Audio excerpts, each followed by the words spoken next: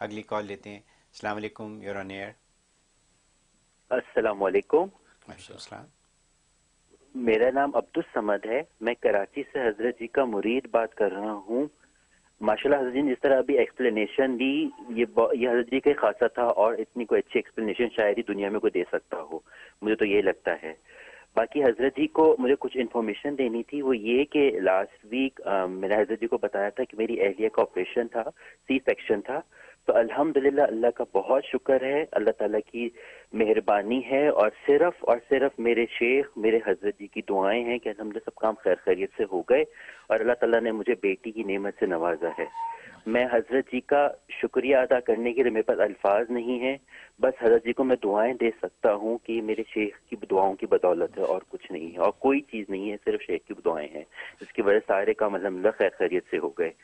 मेरा सवाल सिर्फ़ ये था कि मैं मेरी मैं अपनी बेटी का नाम आमना रखना चाह रहा हूँ तो इसमें मैं हज़रत जी की राय लेना चाह रहा था कि हज़रत जी के सजेस्ट करते हैं कि अच्छा नाम है। दूसरा अहलिया की रिकवरी के लिए कुछ दुआ पढ़ने को बता दीजिए दुआओं की दरख्वास्त है। बहुत अस्सलाम वालेकुम। वालेकुम सलाम।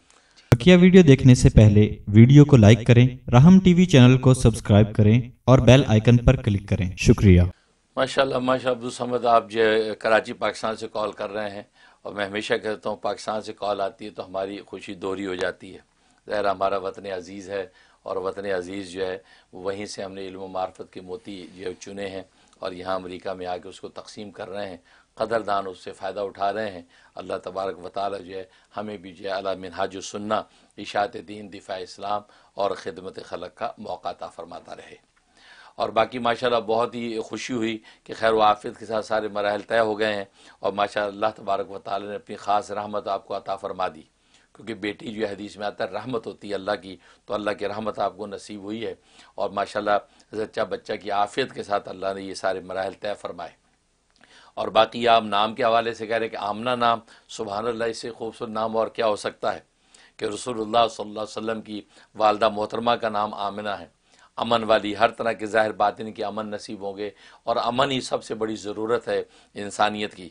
और ज़ाहिर है कि वो ये नाम जो है बहुत बायस बरकत, रसूलुल्लाह सल्लल्लाहु की वालदा माजदा का नाम है। और मैं तो अपनी भी बड़ी बेटी का नाम आमना ही रखा हुआ है। तो मेरी बेटी, बल्कि मेरी वालदा माजदा का नाम भी आमना ही था।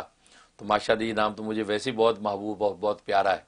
तो ज़रूर ये नाम बिल्कुल रखें और अल्लाह ताला इस नाम की पूरी बरकतें आपको नसीब फरमाएगा। बाकी उसके अलावा जो है और जो चीज़ें आपकी सब के लिए मैं दुआ गो हूँ कि अल्लाह ताला आपको हर तरह आफियत दायरा नता फरमाए और आपकी मोहब्बतों का बेहतरीन बदला नसीब हो। आमीन या रब्बल आलमीन। बहुत खूब, बहुत शुक्रिया हज़रत।